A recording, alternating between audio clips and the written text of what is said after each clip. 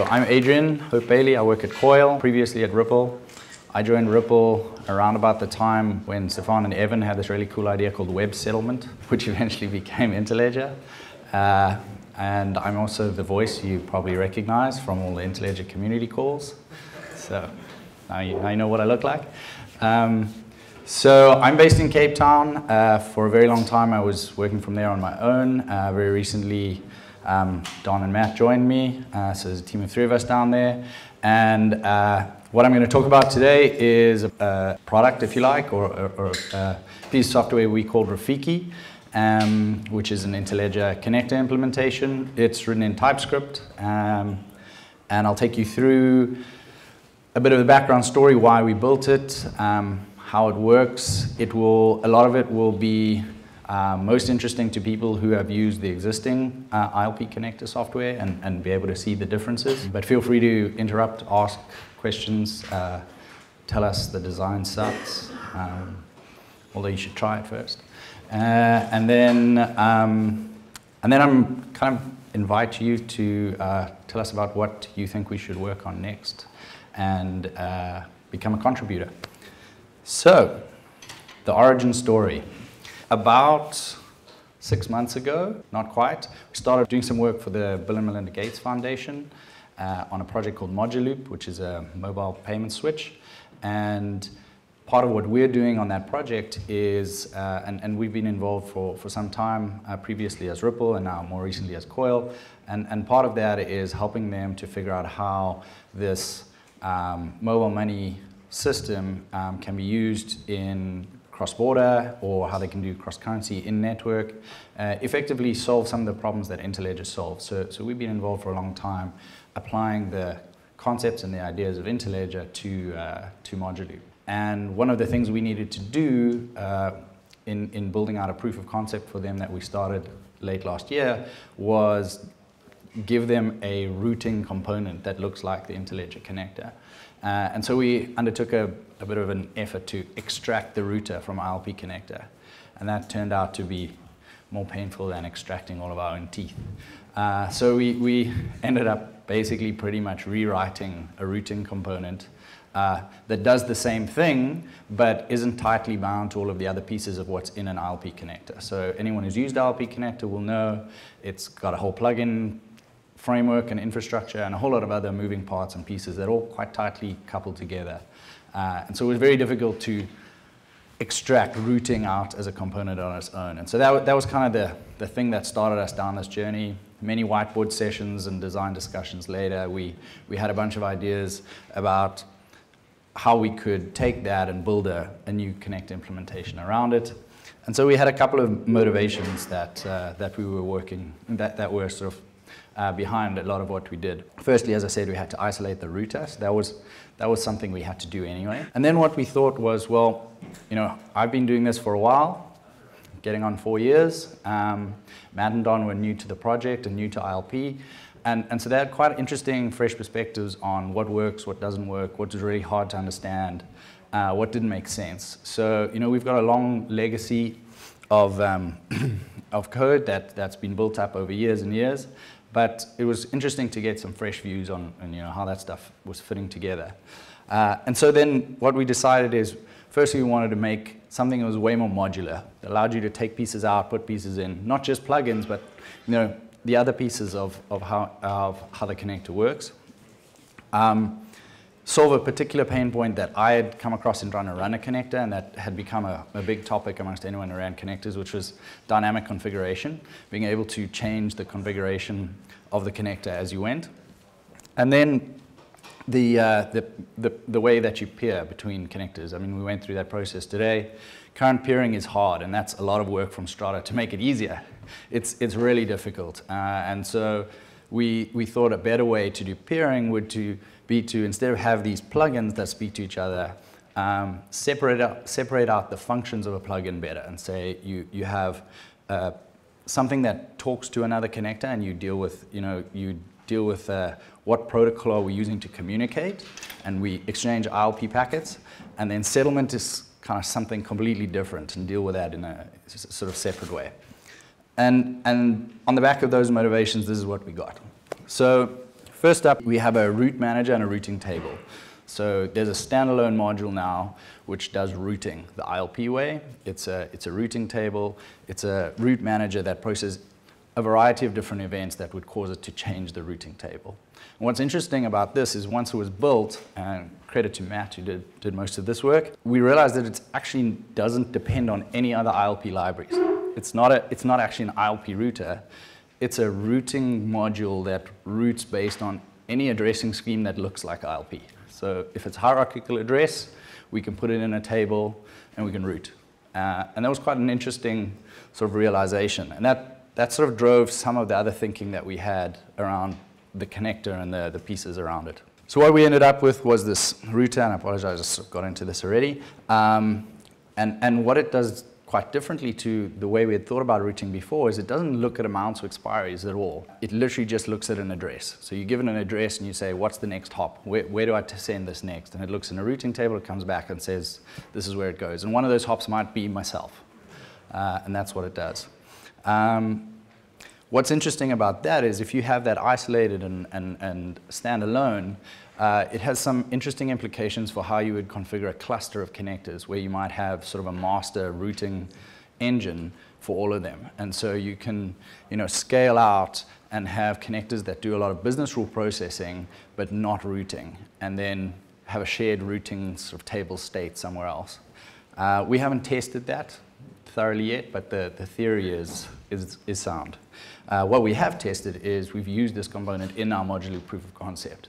So we have a proof of concept where Mojaloop systems are connected using a component that uses this router and a completely different routing uh, addressing scheme. It looks a lot like Interledger, but it, it, it's not forced to use exactly the same Interledger uh, principles or Interledger uh, formats. Go ahead. What is AS style and what is Oh, sorry. Uh, autonomous system. Sorry. So it's uh, internet, uh, sort of a the, the system's right at the heart of the, the sort of tier one uh, ISPs. And you say it doesn't look at amounts. Does it look at some kind of metric in order to give you uh, a minimum cost route for some notion of cost? Uh, because the, the total number of routes between two endpoints is going to be explosively large. So I'll, I'll repeat the question. Does, it doesn't look at amounts. Does it uh, look at anything to evaluate at least cost route? The answer is no. So, so the current connector implementation doesn't either. Um, and, and the reason, there's, there's, a number of reasons behind that, but uh, the shortest route will most of the time be the cheapest route. And, and what we found is that our higher level protocols like Stream are a better way to evaluate the total cost of a route, um, of, of, money traveling along a route. Um, maybe don't have time to get into the details of that, but I'm very happy to discuss it further and maybe, maybe um, people like Evan or Travis who've worked on Stream, we can get into the details of how exactly when you establish a connection through multiple hops with Interledger as the substrate, Stream allows you to evaluate the, the total cost across that route and what you should be able to do is start to uh, route over different routes okay. if, if the cost doesn't suit. I, I, would say there are no implementations of connectors yet that are intelligent about that, but that's certainly the theory is that's where we should be going. The next thing we did is um, we needed to turn our router into a connector. Uh, and so to do that, you need to add all the protocol rules. So we implemented each of the protocols as a sort of a standalone module, which takes a message in, applies protocol rules to it, and either spits it out the other side or rejects it.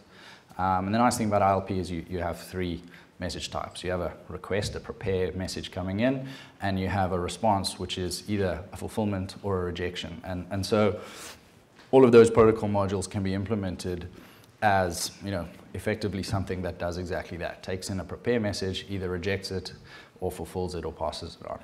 And then the interesting thing that came from that is business rules are basically exactly the same. So if you want to apply business rules to a packet, and when we say business rules, we mean things that are not specific to the protocol, but more about the operating rules of the person who's running the connector, it's pretty much the same thing. So what you'll see in the code is they actually both uh, implement identical interfaces. And again, can be coded in isolation and can be swapped in and out. And, and you can apply, you know, you can have a rule that you apply to one peer but not to another. Uh, so it's very sort of interchangeable. It's, it's slight, for those who know the ILP connector as it is today, slightly different to that in that um, we don't have a single instance of these that is shared across all peers. We create one per peer and we kind of chain them together and we try and keep them very lightweight. Um, there's been comments um, around that design that it may be more memory heavy than, than existing designs. Untested so far, but our thinking is from what we've seen on the network today, nobody's trying to maintain thousands of peers at a time. And if you do, you can shard out and you, there's, there's ways to get around that. We do have then a message pipeline, which effectively is just these rules chained together. And so when you configure your connector, you effectively say, these are the rules I want to apply to a peer and you know, give them an order and they get chained together. And that, that's really all the connector software does is create an instance of a router, take in a whole bunch of instances of rules you want, chain them together, and then attach them to an endpoint, which is listening for external messages. And they come in, you check where to send them out, and you send them out on another pipeline. Um, and that's, that, that's really the, the, the logic of the connector is actually pretty, pretty straightforward, pretty simple. This raises an interesting question in that because our router doesn't look at amounts, where do we actually do FX? Um, and the way we've chosen to implement this, and there's been a lot of discussion and uh, credit to David and to Evan and other people who are doing connector implementations. We've really had a lot of good back and forth debates about how to do this. This is our approach, um, and, and we think it's, you know, the theory behind it is sound, but, you know, interested to hear what you say. So what we do is implement FX as rules. So an amount comes in, you normalize it to some sort of uh, currency that is native to the, the connector itself, and then you apply other business rules. Then you may need to apply a conversion on the outgoing leg as well. That sounds kind of expensive. It sounds like inefficient. But the reality is most of the time you don't actually need to normalize in and out. In fact, the network today is all XRP, pr pretty much. So you wouldn't even have FX rules. You would only have rules to apply a fee maybe.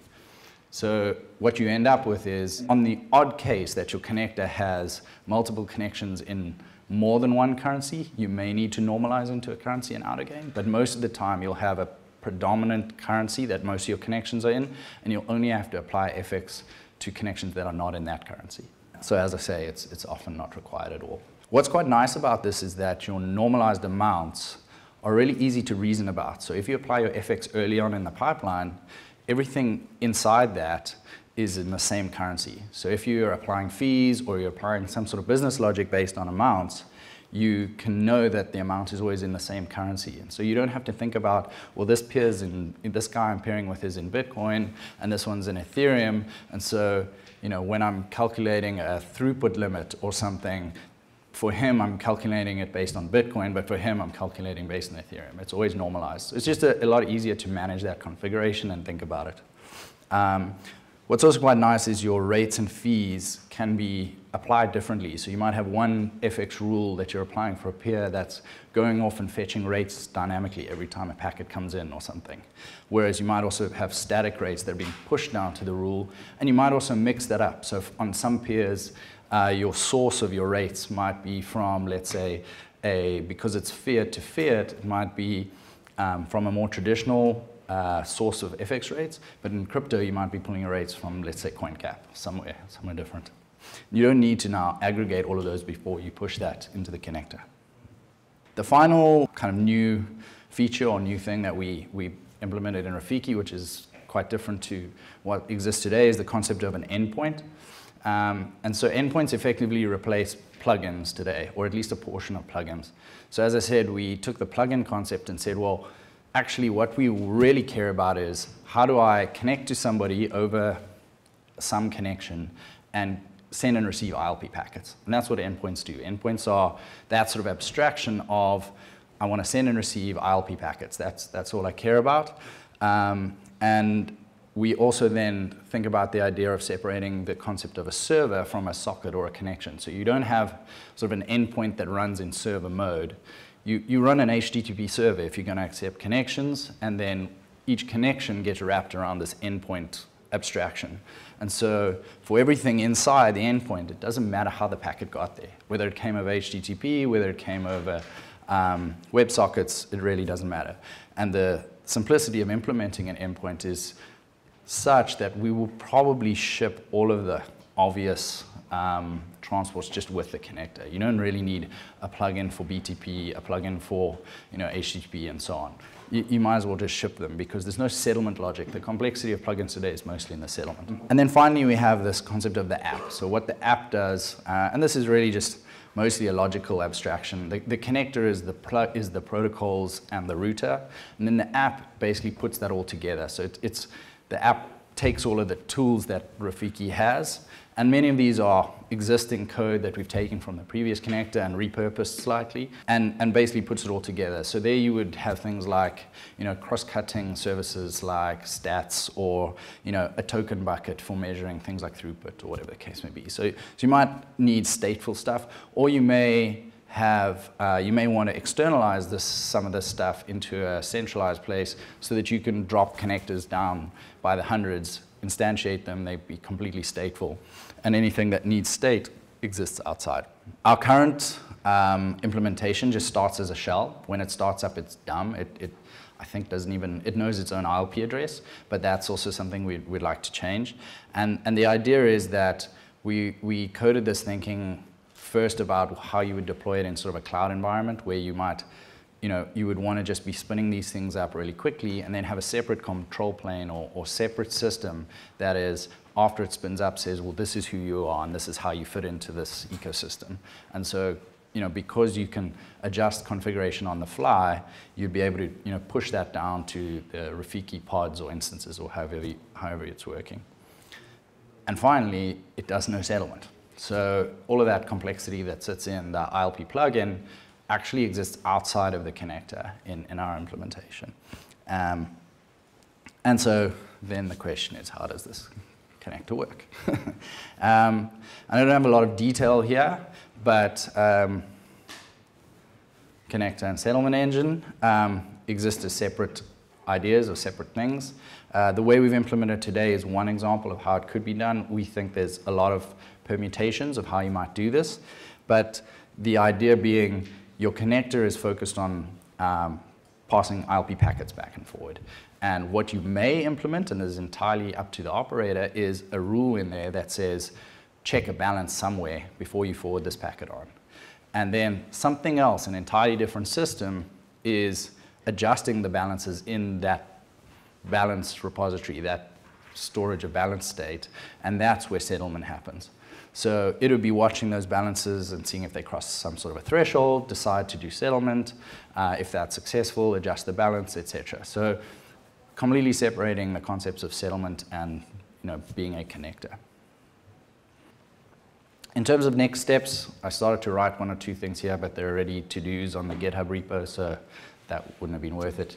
Um, from our perspective, we want to hear what people want to do with this and, and you know, either now or forum, mailing list, uh, chat to any of us afterwards. Um, we really like to hear sort of how you want to proceed with it. And, and, one of the one of the goals in our design was to make it easy for people to contribute. And I think one of the benefits of the modularity is you could say, well, I really want to build a different or better balance rule or FX mechanism. And it's quite easy to do that in isolation. And, and we can just you know, you can just pull it into the project, and when somebody starts up an instance of Rafiki, they choose to use that one or not. It's, it's entirely up to them. We wrote a blog post um, sort of introducing it a few weeks ago. Uh, there's a lot more detail in there if you want to if you want to understand more. And then, yeah, I want to say thanks to Matt and Don, who are the, the main drivers behind there. Um, there's a lot of debate about who is Timon and who is Pumbaa, but if you do want to know more about Rafiki, can see who made Timon, Timon, and, Timon and Pumbaa are around to answer your questions. Thanks very much.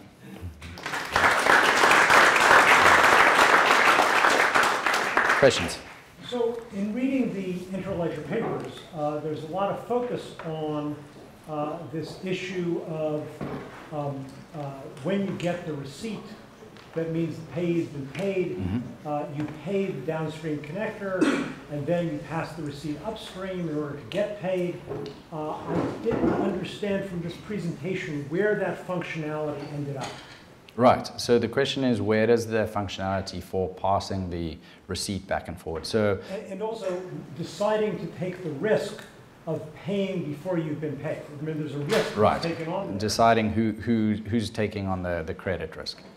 Right. So this doesn't answer those questions. This software, it enables quite a lot of flexibility. So the, the let me say the exchanging of the uh, request and then the receipt, that's ILP packets. So that's what we would, you know, in this, um, this is pretty, apologize, pretty deep dive for anyone who hasn't looked at existing software.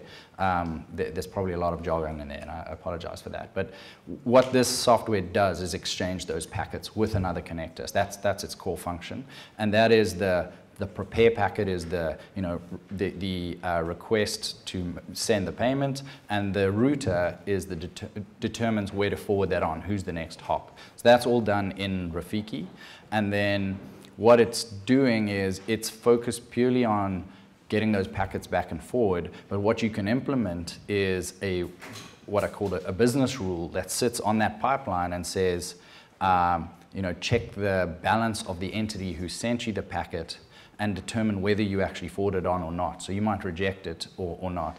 And then the business rules that you would apply to decide do I you know, accept packets from that person of, and forward them on or do I reject them is based on the business relationship. So it's, that's not a technical decision, but the technology allows you, you to apply it. So, Stefan.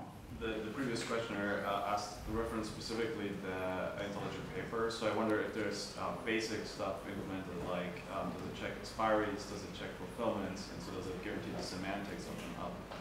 Okay, yeah. So, so the question was, does it implement basic stuff that exists in, in uh, you know, the reference implementation? The answer there is yes. We, we took what are called middlewares in the existing implementation, and those are all ported over as rules. Um, where this is maybe slightly different is I think it's quite a lot easier to decide if you actually want to apply the rules or not. Then we also separated, as I said, the rules into business rules and protocol rules. So kind of a by default, and non-optional is the protocol rules. You, you get those by default. So you, ILDCP, ILP, so check expiry, check fulfillment, those things, I would consider those ILP protocol rules. When you spin up an instance of connector, those are on the pipeline already at the end, just before the router.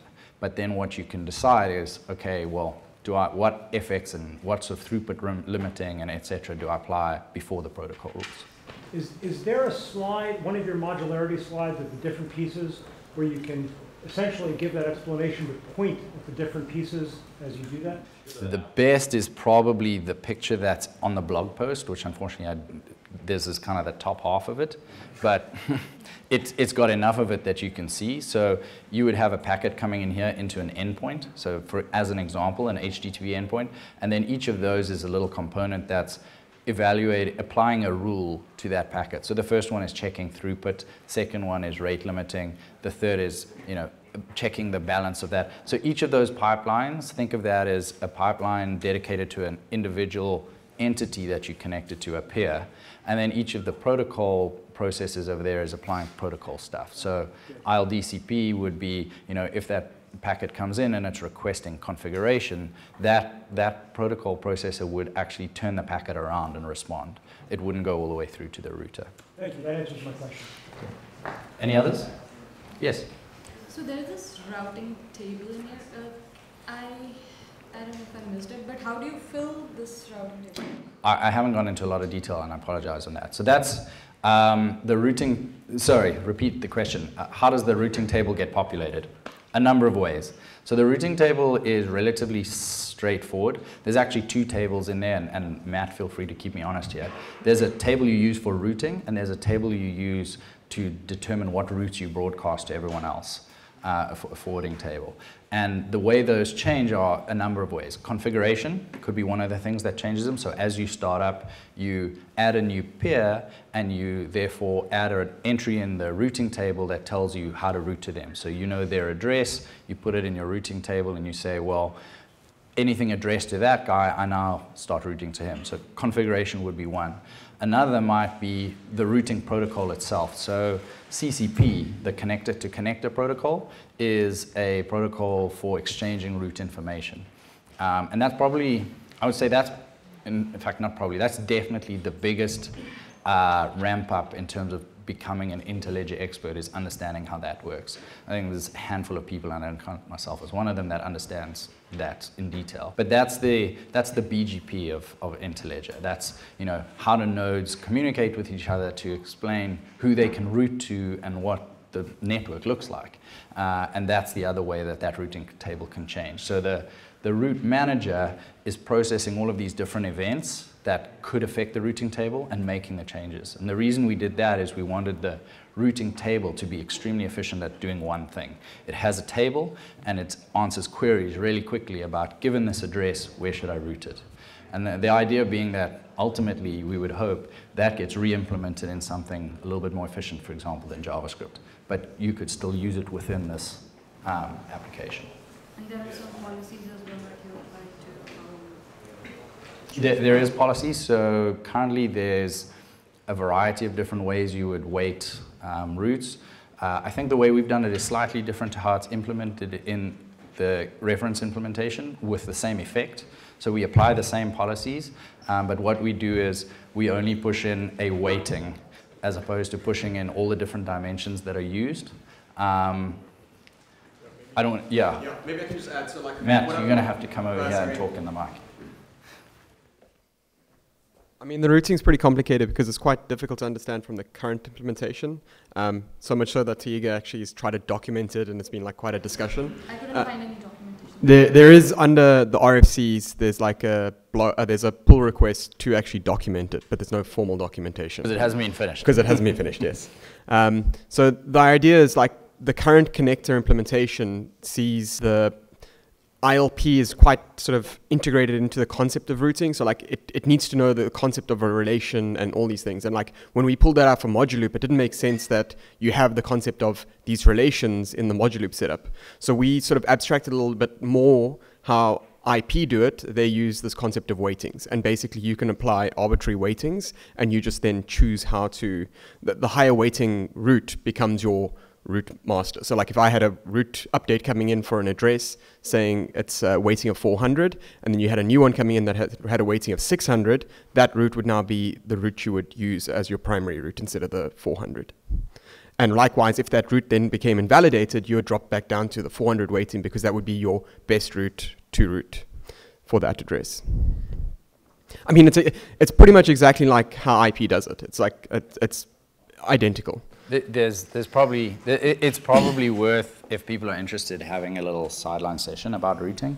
I mean, I was suggesting tomorrow afternoon. Yeah. cool. So, so if that's something people want to dig into in more detail, I know Stefan's got lots of ideas about things we could still add to the routing protocols. Um, one of the big issues with I- routing in IP, for example, is the, the fact that it's not very secure. And so we've made some efforts to make ours more secure. Um, and, you know, discussion around how we do that, how that works. Um, I know Stefan's given a lot of thought, and, you know, we'd love to add that to the implementations as well. So, yeah, I'll, I'll chat with Vanessa. Maybe, we, maybe that's something we put on agenda for tomorrow, kind of a, a sideline on, on routing. Any other questions on Rafiki? Okay, thanks very much.